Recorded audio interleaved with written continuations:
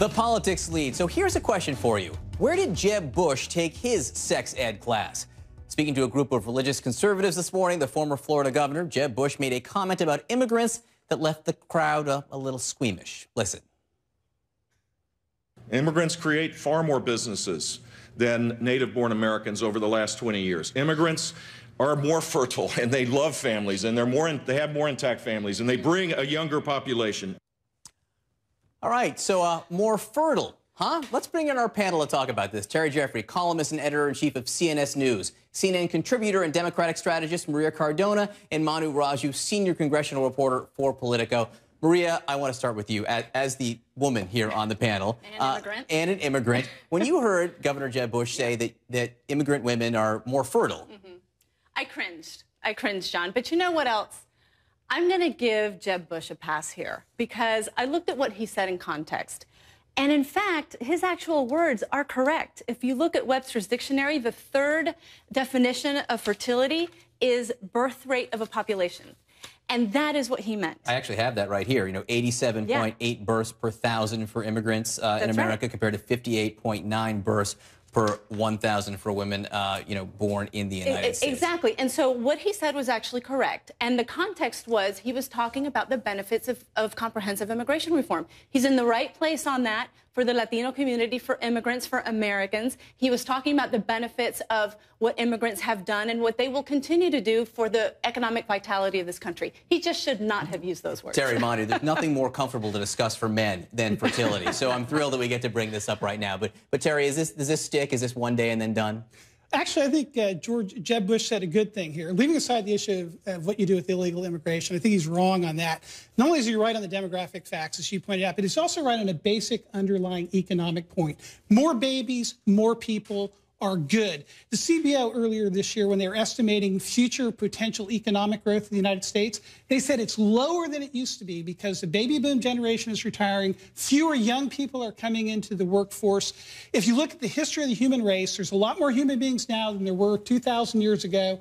People are better off materially now than they were 2,000 years across the globe because on net, people create wealth may all be true, but doesn't the word creep you out a little bit, Manu, when he said it?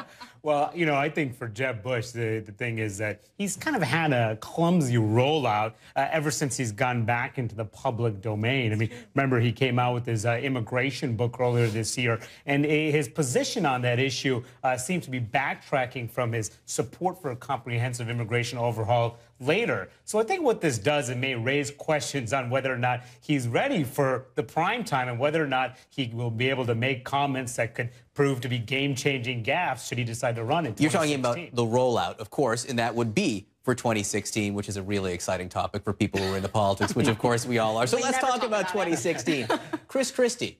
He's out in Chicago at the Clinton Global Initiative. Last time I checked, we checked the research here. Bill Clinton, Hillary Clinton, Democrats. Chris Christie, Republican. What's he doing to the Clinton Global Initiative? Well, look, if, if you're talking about political positioning, if you look at recent history, leaving aside Mitt Romney, who of course is from Massachusetts, the Republican Party tends to nominate for president people from, from Texas, from Kansas, from California, from Texas, uh, from Michigan in the case of Jerry Ford. It's very difficult for a Northeastern Republican to be nominated by the Republican Party whose base is conservative. I don't think Chris Christie can do it. I think he's more like Giuliani than Mitt Romney. And everybody remembers Mitt Romney did like a 180 degree turn on a lot of issues before he ran for president. Manu, if you're the other contenders right now, most of whom are at the Faith and Freedom Coalition, and you see Chris Christie in Chicago, what are you thinking? Well, they're probably thinking what happened, remember, right before the run up to the November elections when Christie was praising President Obama for his handling of Hurricane Sandy. I mean, at that time, uh, it really gave momentum to the president, and it really took, uh, it really hurt the Romney campaign. A lot of Romney veterans, Republicans, don't forget, uh, will not forgive him for that. So that kind of will probably bring back memories uh, for that really critical moment in the campaign. And Christie is going to have to deal with that should he decide to run. But let's remember, we might be focused on 2016, but what's Christie focused on? Getting reelected first. He's got to get reelected before he can even think about 2016 and being seen with Bill Clinton and, and Chelsea and Hillary is a really good thing for a, a purple slash blue state that New Jersey What's is. good for 2013 might not be good for 2016. Possibly Maria not, Cardona, but... Terry Jeffrey, Manu Raju, great to see you. Great talking even Thanks, about John. fertility. I appreciate it, guys.